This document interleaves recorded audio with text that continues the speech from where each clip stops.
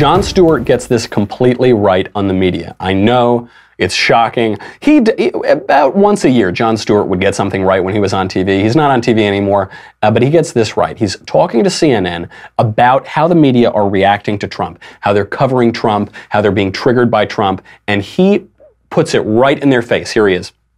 So do you think, because obviously we're all caught up in this sort of daily Trump fest. I mean, every uh-huh. single newspaper, every radio station, every bit of social media. You got to make money or, too. Well, it's you got, dissecting. You got, you got, bills to pay, man. You got electric bills. You got food.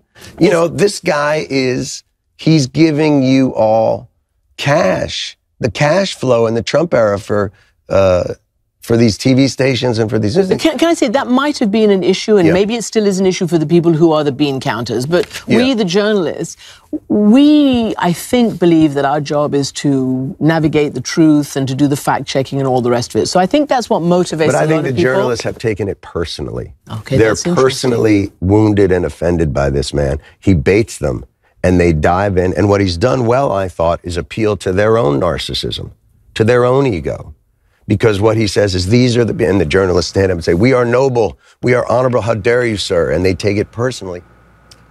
Exactly right. Just think of jim acosta when, when was the last time that Jim Acosta wasn't looking in a mirror? Because when he's on camera, you know, the camera lens is a little mirror, he can see himself. I think when that camera goes off, he immediately just turns to the mirror. He says, Oh, there you are, Jim. There, you're a great American. You're strong. You're good enough, smart enough, and gosh darn it, people like you.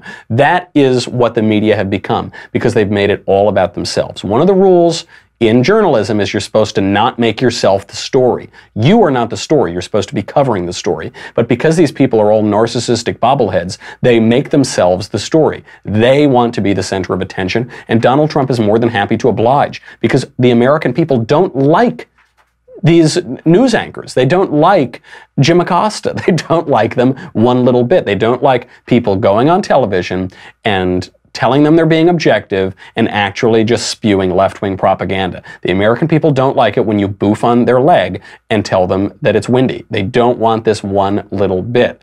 Boof, boof, Senator. It's flatulence. We were 16, Senator. That's what it is. That's how you define it. Uh, they, don't, they don't like that either. I mean, they don't like it to become a circus. They don't want their politics to be made into a circus. And he, he recognizes that. And the other thing Stewart recognizes is that the media secretly love Donald Trump because he makes them so much money.